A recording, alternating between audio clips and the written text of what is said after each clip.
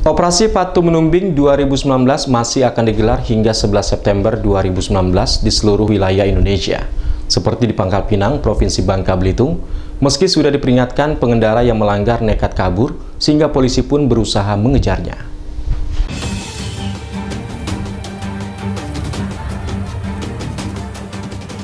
Anggota polisi lalu lintas ini harus berlari mengejar pengendara sepeda motor yang melanggar lalu lintas, namun aksi petugas gagal sehingga pelanggar berhasil lolos.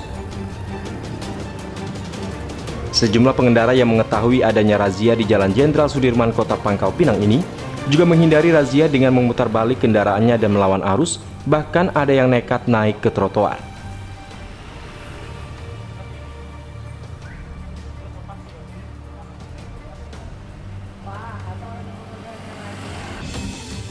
Namun tak semua aksi pelanggar berujung mulus saat menghindari razia. Seperti pengendara sepeda motor berplat merah dan tanpa plat nomor polisi di belakangnya ini, hanya bisa pasrah saat polisi menghentikannya.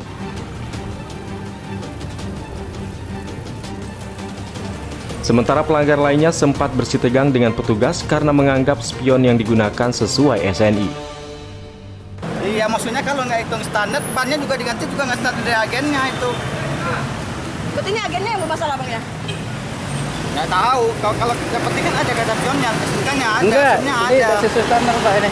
Harus SNI bang, gitu gimana bang? Apanya?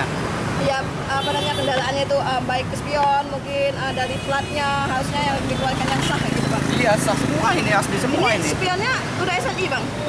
Belum, nggak tahu sih, tapi Ya, ditilang ya. kan? Operasi Patu Menumbing 2019 ini masih akan digelar hingga 11 September 2019 mendatang. Operasi ini digelar guna menekan angka kecelakaan di jalan raya. Dari Pangkal Pinang, Bangka Belitung, Haryanto Ainus melaporkan.